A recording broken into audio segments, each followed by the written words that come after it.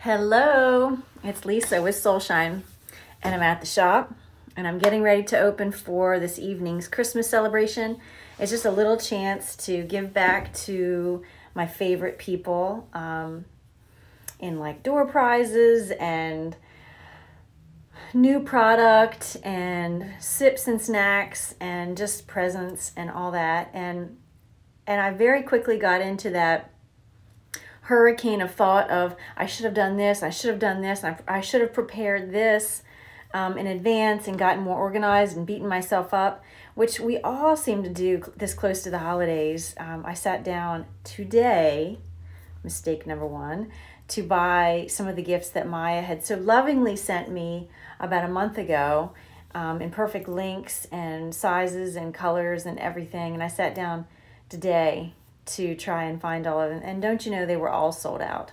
God bless her sweet little heart. Now, she, don't fret, she's still going to have an awesome holiday. But my point is, we've got this such pressure to get it all done and look a certain way and make a certain, you know, um, memory for our children and our customers and our family and all that.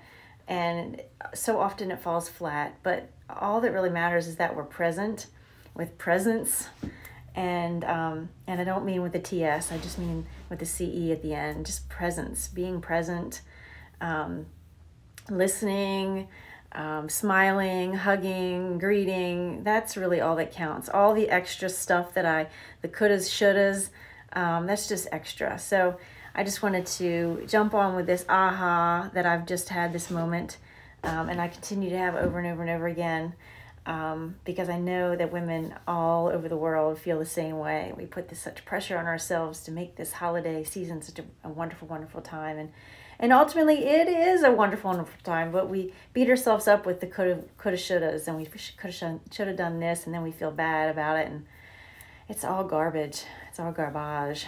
So I just wanted to jump on and say that, and get my headspace ready for um, these awesome ladies that are going to come in here in about 15 minutes and um, and get loved on. So I hope that whatever you're doing today, this holiday season, um, don't beat yourself up too much. Just be present with presence, CE, and and just love your people well. Just pay attention to them, look at them, smile, hug.